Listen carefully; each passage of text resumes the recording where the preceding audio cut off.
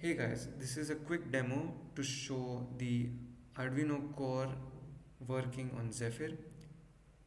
This assumes that you have Zephyr installed in the recommended installation path as per the Zephyr docs and sorry for the noise um, also you'll need to make a few changes to the west.yaml inside the Zephyr repo on your computer these changes have been described in the project's readme and it would be helpful if you went through that. So I'm quickly going to navigate into my Zephyr directory. Here are the changes that I have made to the west.yaml file.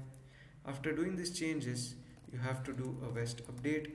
What this does is it pulls the project from remote to your local machine inside modules live Arduino Zephyr API so we run west update. This has pulled the project into the required path.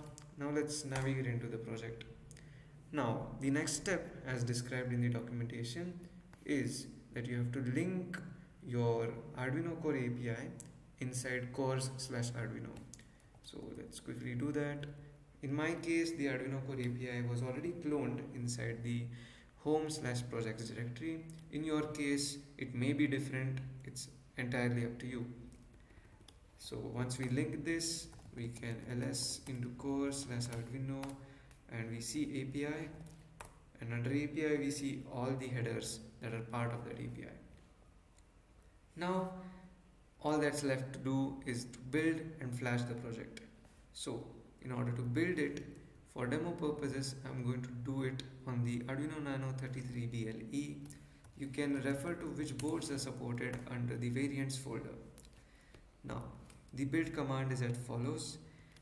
West build minus p is for pristine build, minus b specifies the name of the board, and you specify the path to the sample that you want to build.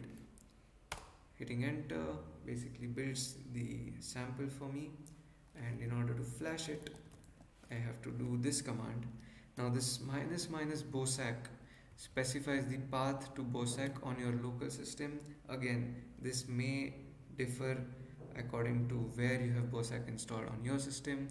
And BOSSAC is a tool which is used specifically for these uh, Arduino Nano BLE33 boards. Uh, depending on which board you use, the west flash command may differ. Right now I have the Nano 33 connected. I'm going to double press on the switch and it puts the board into download hit enter it flashes the firmware and voila I have LED blinking on my Arduino. I hope this demo helped you to get started with this project and I wish you good luck on running Arduino codes on your microcontrollers using Zephyr. That's all. Thank you